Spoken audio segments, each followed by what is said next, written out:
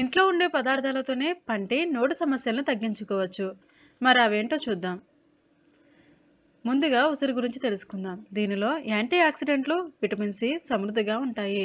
ఇవి నోటిలోని హానికర బ్యాక్టీరియా ఇన్ఫెక్షన్లతో పోరాడి చిగుళ్ళను కాపాడుతాయి.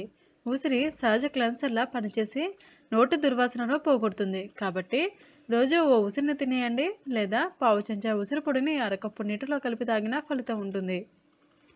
వేపాకు వేపలో చాలా ఔషధ గుణాలు ఉంటాయి దీనిలో ఉండే యాంటీ బ్యాక్టీరియల్ గుణాలు చిగుళ్ళ సమస్యలకు కారణమయ్యే బ్యాక్టీరియాను అంతమొందిస్తాయి.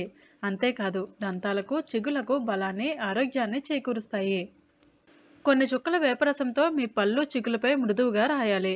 కాసేపాకి గోరువెచ్చని నీటితో కడిగేయాలి. ప్రతిరోజు ఇలా చేయడం వల్ల పళ్ళు ఆరోగ్యంగా ఉంటాయి. లవంగం ఇందులోని యాంటీ ఇన్ఫ్లమేటరీ యాంటీ బ్యాక్టీరియల్ గుణాలు పంటి నొప్పిని తగ్గించి ఉపశమనం కలిగిస్తాయి. చిగుల సమస్యలు పెరగకుండా నియంత్రిస్తాయి. పావు టీ స్పూన్ నువ్వుల నూనెలో కొన్ని చుక్కల లవంగ నూనె కలిపి అందులో దూది ఉండను ముంచి పంట నొప్పి ఉన్న ప్రాంతంలో పెట్టాలి. బొగ్గన రెండు లవంగ మొగ్గలు పెట్టుకున్న ఉపశమనం లభిస్తుంది. వంట సోడా దీనిలోని ఆల్కలైన్ సమ్మేళనాలు నోటిలో ఎక్కువైన ఆమ్లాలను పీల్చుకుంటాయి. దంతక్షయానికి చిగుల సమస్యలకు కారణమయ్యే ఆమ్లాలను వంట సోడాలోని ఆల్కలైన్ సమ్మేళనాలు నియంత్రిస్తాయి. దాంతో నోటిలో వాటి తీవ్రత తగ్గుతుంది. అయితే తరచూ వాడటం వల్ల పళ్ళ ఎనామిలకు హాని జరగవచ్చు.